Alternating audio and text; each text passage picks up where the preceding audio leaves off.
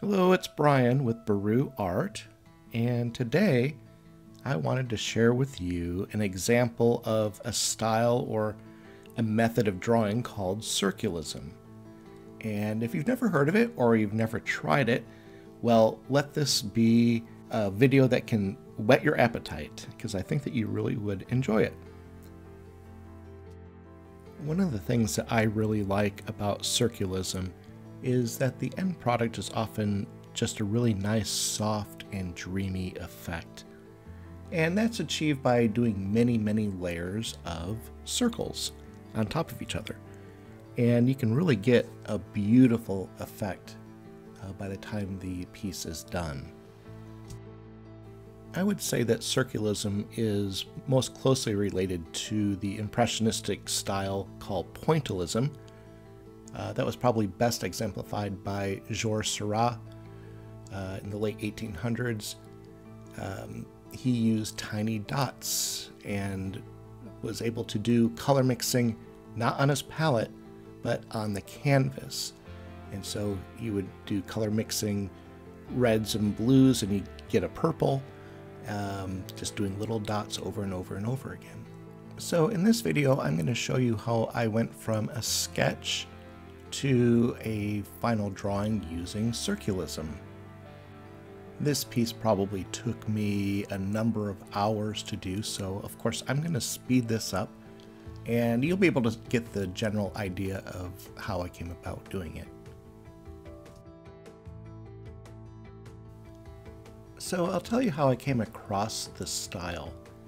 Uh, I went to a art gallery and I saw these beautiful, gorgeous pieces.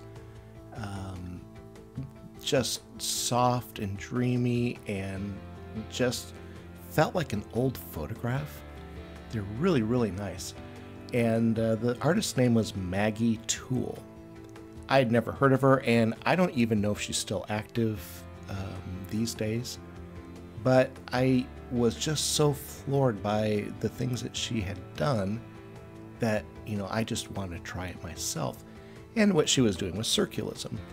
Um, I read an interview with her, and she said basically that she had a hard time being able to mix uh, paints in her palette and get it to work well on a canvas.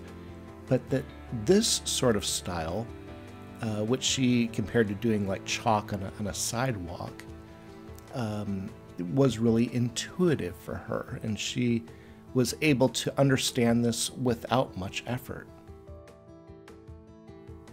I thought that was really encouraging.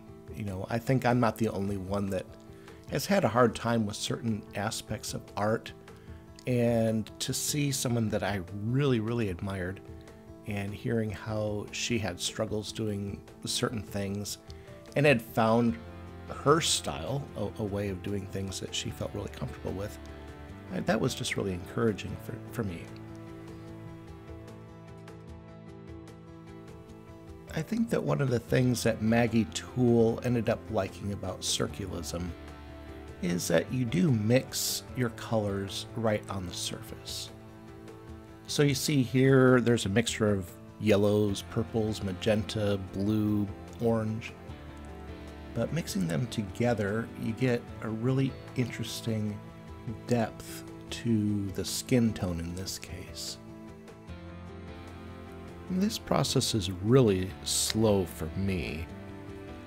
What I'll usually do is start with a color that I know I want to use in an area, and I'll fill it with that color with circles, and then I'll stand back and I'll see, well, you know, this area needs more magenta or it needs more blue. And then I'd add it in those areas. Then stand back again and, oh, you know what? Maybe it needs a little bit of orange or some green. Uh, the nice thing about this is it is slow.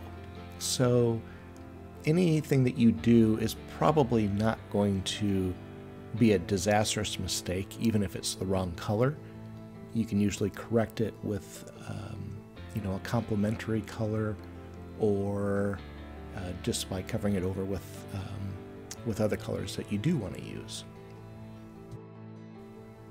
I think it's a very intuitive way of mixing colors, especially if you aren't really handy with color theory, which can be really complicated. Um, you can just really trust your eyes and your gut and just feel your way through it. And I think usually, at least for me, it's worked out really well. A lot of times I try to limit my palette when I do artwork.